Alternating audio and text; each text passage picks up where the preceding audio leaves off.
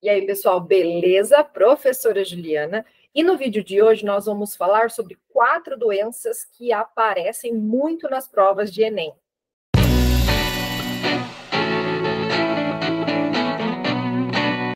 Então, nesse vídeo, nós vamos falar sobre quatro doenças que eu já deixei aqui na descrição do vídeo para você quais são, para você estudar, para você se planejar, porque nós fizemos já aqui no canal da Profígio um outro vídeo anterior com mais quatro doenças que não caem no Enem, elas despencam. E não só no Enem, como nos vestibulares também. Então, eu separei as oito principais doenças, dividi em dois vídeos, e hoje nós vamos falar de outras quatro doenças que sempre aparecem nas provas para você lembrar, se atentar aí aos detalhes para poder estudar. Então, já vou começar compartilhando aqui a tela com vocês da primeira doença que eu separei, que foi a esquistossomose. Então, já vou pôr essa foto linda, maravilhosa aqui para você ver que ela mostra muito bem quais são os principais sintomas da doença, porque a esquistossomose também é chamada de barriga d'água. E tem esses caramujos lindos aí embaixo que já mostram um pouco como que essa doença acontece. Então, a esquistossomose, ela é uma doença infecciosa, parasitária, que vai ser causado pelo xistossoma mansoni, que é um verme, tá? Então, essa doença, pessoal, é causada por um animal, que é o xistossoma, então, uma doença de verme, verminose, vermes são animais, e ela também é conhecida como doença dos caramujos ou barriga d'água, como você pode ver aí na foto. Como que a gente pega, então, essa esquistossomose? Pelo contato com água doce contaminada com esses caramujos aí da foto infectados. Então, não é o caramujo da sua casa, tá? Do jardim, caramujo africano, não. Esse caramujo é um caramujo de água. Geralmente, ele é do gênero Bionfalaria, ok? E que sintomas que a pessoa vai ter além dessa barriga super inchada aí, que a gente chama de ascite, que é um acúmulo, um derrame de líquidos, né, na região abdominal, peritoneal, que acaba deixando essa, esse inchaço, né, esse edema na barriga, que a gente chama de barriga d'água. Essa pessoa vai ter problemas na pele, dermatite, né, febre, vai ter calafrios, náuseas, vômitos, dor abdominal, diarreia, mal-estar e vai ter problemas musculares, como a gente chama de mialgia, tá? Então, a gente vai saber que a pessoa está com esquistossomose através de exames de fezes, exames de urina, tá? E o tratamento aí vai ser feito com vermífugo.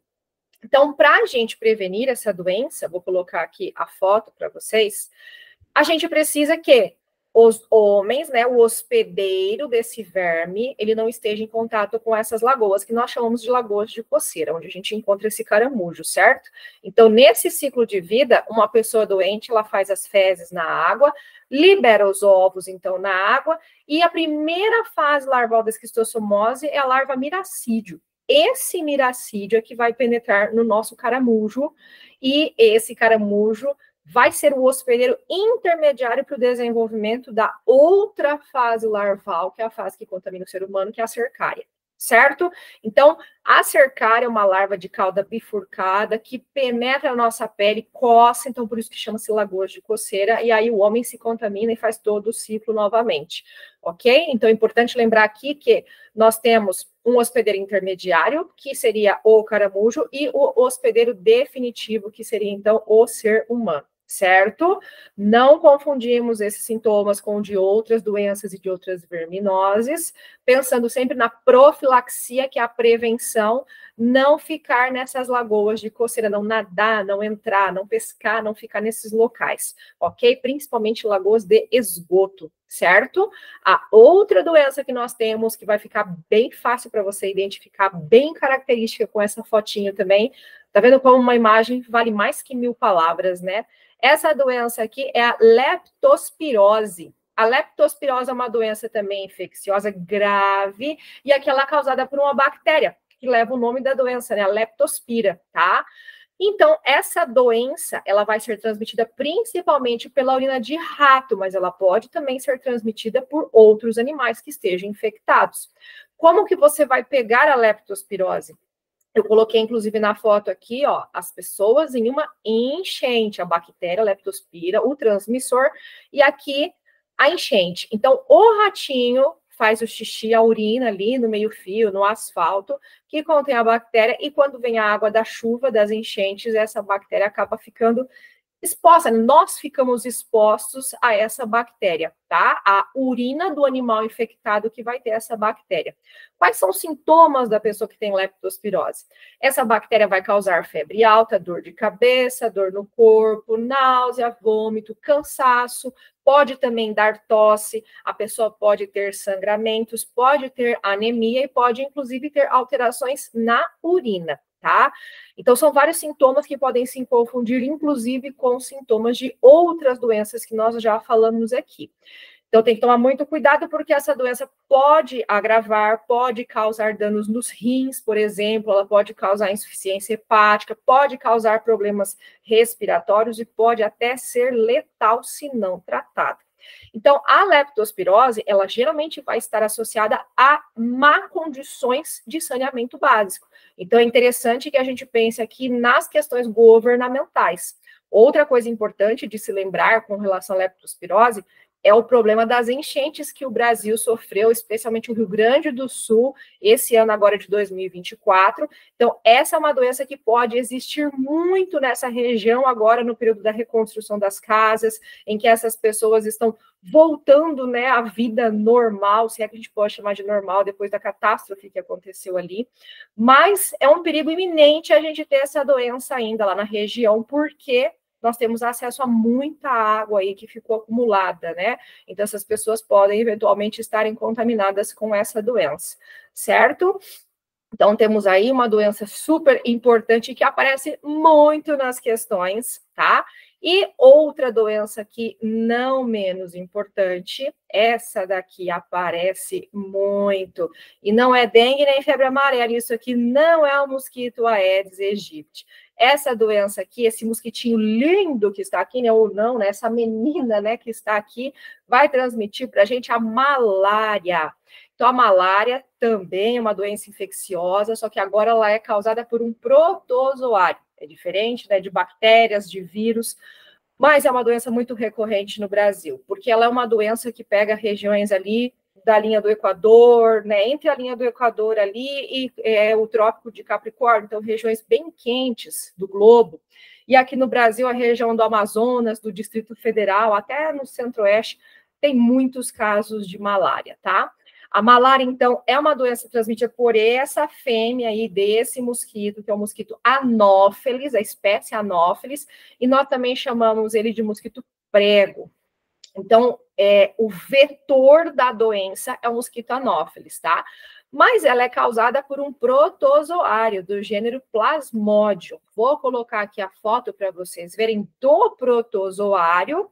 Na imagem aqui, ele já está dentro das suas células, ele está dentro das suas hemácias, que são as suas células do sangue.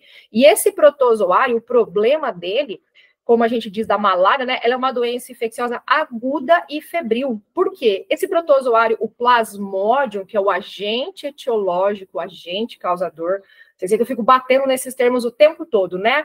Vetor, agente etiológico, porque esses termos são importantes a gente não confundir. Mas o agente etiológico aqui, o plasmódio, ele se reproduz dentro das nossas hemácias e ele começa a estourar essas hemácias para poder sair. E nesse momento em que ele estoura as nossas hemácias, ele causa então essa febre aguda.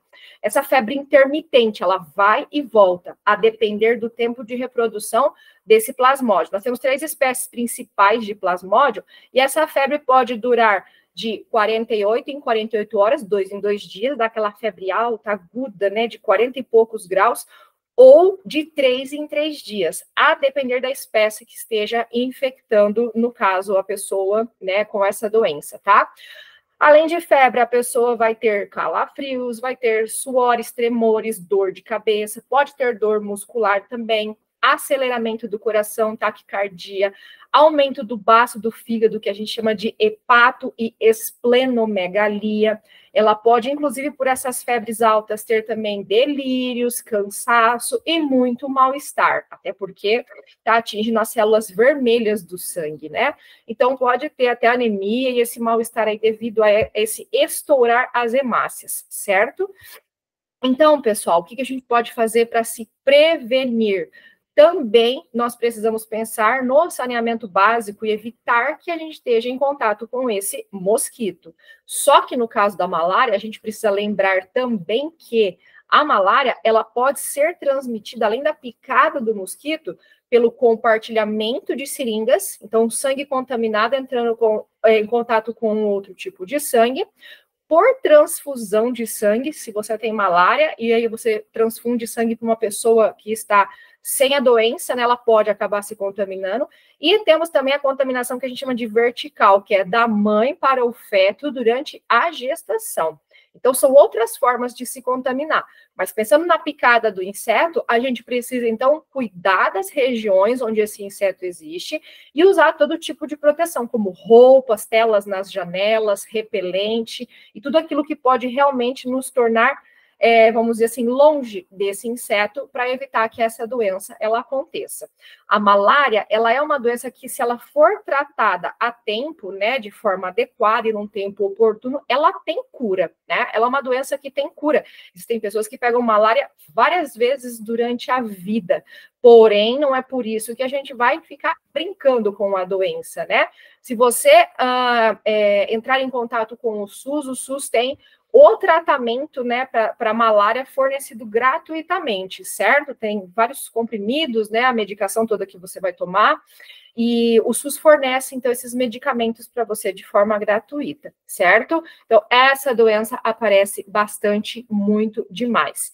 E para a gente fechar, a quarta doença que eu separei aqui para vocês essa foto aqui, que é uma foto marcante, chocante, que também nessa imagem aqui, com três figurinhas, a gente consegue resumir toda essa doença.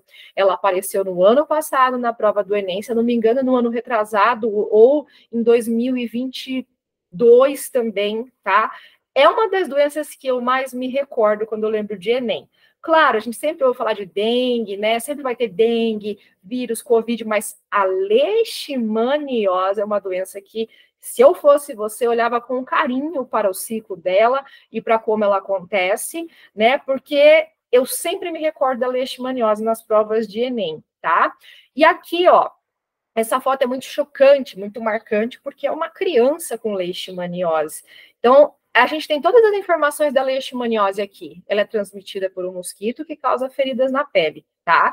Então, a leishmaniose é infecciosa e ela é causada por um protozoário, que é do gênero Leishmania, tá? Aqui é outro inseto que transmite, que são as fêmeas, aí nessa foto você pode ver, são as fêmeas é, do, de, do gênero Flebotomínio. Então, esses mosquitos, que agora tem outro nome, né? Não é mais lá o Anopheles, esse daqui é o mosquito chamado de mosquito palha, mosquito é, tatuquira, tem alguns locais do Brasil que conhece ele, né? E mosquito birigui, tá? São os principais nomes que a gente encontra no Brasil para esse mosquito. Geralmente nos livros traz como mosquito palha, tá? O mosquito da leishmaniose. Então nós temos diferentes tipos de leishmaniose, sendo a principal aqui essa leishmaniose que a gente está vendo na foto aí que é a tegumentar, que é de pele, né, que a gente enxerga, e a leishmaniose visceral. A leishmaniose tegumentar é aquela que provoca essas feridas que a gente chama de úlcera na pele e nas mucosas. E a leishmaniose visceral, ela já é grave, é uma doença bem grave, que pode levar à morte em mais de 90% dos casos se ela não for tratada a tempo e de forma correta. Então, a pessoa que tem leishmaniose que é picada por esse mosquito, ela pode ter febre irregular, né? Ela pode ter perda de peso, Vai ter também aumento do fígado ou do baço, que a gente chama de hepato e esplenomegalia, e pode também ter anemia em decorrência dessas feridas. A leishmaniose não é uma doença contagiosa, então você não transmite diretamente de uma pessoa para outra e nem de um animal para o outro. O problema da leishmaniose é que, como ela é transmitida pela picada do inseto e nós temos os animais como reservatórios naturais, cachorros, macacos. Hoje, infelizmente, a conduta de quando você tem um cão de estimação com leishmaniose é que esse animal seja sacrificado, porque se o mosquito picar ele, ele acaba te contaminando também. Se um animal está com leishmaniose na sua casa, é porque eventualmente ele foi picado por esse mosquito, adquiriu esses protozoários e está contaminado. Isso significa que nós temos o mosquito por perto na região onde você está, e você pode ser picado por esse mosquito palha que também picou o seu cachorro e carrega o protozoário leishmania, certo? Então a conduta hoje é a conduta de sacrifício desses animais que venham a ficar doentes. Então, não é o cachorro que te transmite, é a picada do inseto, certo? Então, é uma doença muito relacionada aí aos cães, aos cachorros domésticos, aos cachorros que a gente tem de estimação e a transmissão para as pessoas, tá? Não necessariamente o inseto vai ter picado o seu cão, ele pode transmitir a doença diretamente para você também. Você pode ficar doente na sua casa e o cão não ficar doente, ok? Então, para prevenir essa doença, para a gente conseguir prevenir a leishmaniose, a gente precisa, então, combater esse inseto novamente, como nas doenças anteriores. Então, eu vou usar repelente, eu vou colocar mosquiteiro nas casas, né, nas telas, principalmente se você mora numa casa que é perto de regiões de mata, de mato, de floresta, enfim. A gente coloca, então, os mosquiteiros nas telas, é, e telas, né, nas janelas, nas camas, para que evite o mosquito de entrar Use, use né, utilize roupas compridas né, nessas regiões possíveis de mosquitos para que eles não entrem em contato com o seu corpo e possam te picar. Manter as áreas que são próximas da sua casa bem higienizada os abrigos dos seus animais domésticos, as casinhas, os locais onde eles dormem, os enxovais deles, né? Tudo limpinho, tudo bonitinho, tudo bem higienizado para evitar focos desse mosquito. Realizar as podas de árvores também em volta da sua casa pode ser algo interessante para evitar que esses ambientes sombreados é, tragam esse mosquito, esse tipo de mosquito para perto da sua casa e evitar também, gente, o acúmulo de lixo orgânico, tá? Porque acumulando lixo eu vou fazer com que outros animais venham e, consequentemente, nós vamos ter, então, esses insetos na região também, tá? Então, quando a gente pensa no acúmulo de lixo, a gente pode pensar também relacionado à parte de governo, à parte de saneamento básico certo? Então, pessoal, aqui nessa nesse vídeo eu trouxe um resumão das principais doenças que nós temos, junto com outro vídeo que você vai olhar, você vai revisar no final desse daqui, tá? Que são as oito doenças que eu separei que mais aparecem disparado com relação às outras no Enem. Pode ser que nós tenhamos surpresas, doenças novas que apareçam, que possam ser emergentes, mas essas, elas são assim, ó, figurinha repetida, a gente já viu em várias provas, não só no Enem, como em vários vestibulares do Brasil. E eu expliquei o porquê, né, que essas doenças se repetem lá no vídeo 1, lá no, na introdução convém você assistir para você saber, certo? Eu espero que você tenha gostado desse vídeo, curta, comente, compartilhe com alguém que esteja estudando para o Enem, para o vestibular, para alguém que já teve essas doenças ou tem alguém na família que tem, porque você já sabe, né? Biologia não é só para você passar no seu Enem, no seu vestibular, gabaritar a sua prova de ciências da natureza. Não só. Biologia é para a sua vida.